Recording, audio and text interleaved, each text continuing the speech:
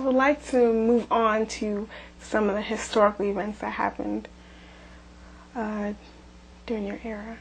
Uh, can you tell me how you felt and what were you doing uh, during the Great March on Washington? I was there with my mom. In fact, we were so close, um, we could have almost touched Martin Luther King. Um, and how that happened, I will never know because we just started walking with the group of people that we rode over with, which happened to be one of the uh, church people who organized uh, the event.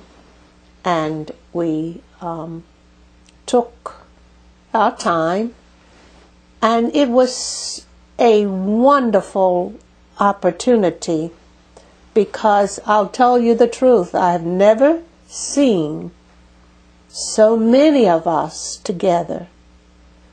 And they were quiet, they were orderly, they were serious, and my mom and I just talked about it for days and days and days. Uh, how, unfortunately, other people didn't realize what an accomplishment to have all of those people there on that mall. No litter. Now think about it.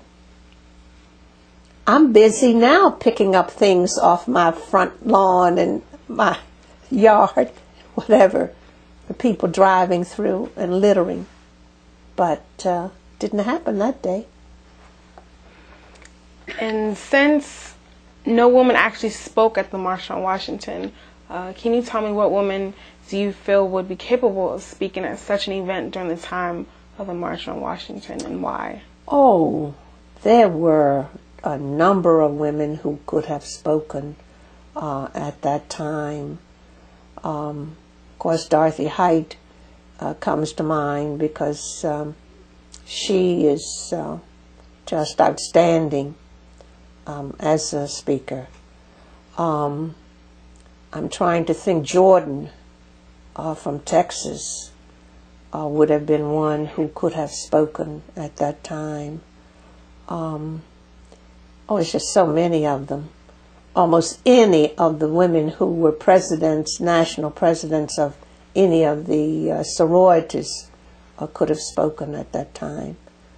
Um, didn't have too many um, recognizable ministers, but we did have some, and any of those could have spoken at that time. Um, if you go to the entertainment field, you had um, Ruby Dee, um, Lena Horne, any of them really could have spoken. But you have to understand the uh, history of the country, of the United States of America. It's not based on women. Doesn't matter what color they are, it's not based on that. It's based on men. And I don't know why people think that black men are any different from white men. Eh? Same thing. It is status, it's power, uh, it's their thinking. And so, in order for uh, a lot of uh, women to do whatever they're going to do, they just have to get out there and get it done. It isn't going to come to them. Nobody gives up you have to be ready to move along and somewhat take it, unless they get in a crisis. And of course, that's how women were able to do so much during the war. Got to be a crisis because the men were elsewhere fighting.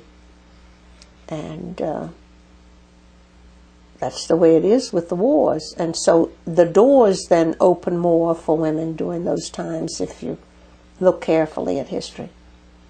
But uh, before then, well, you had some, but not many.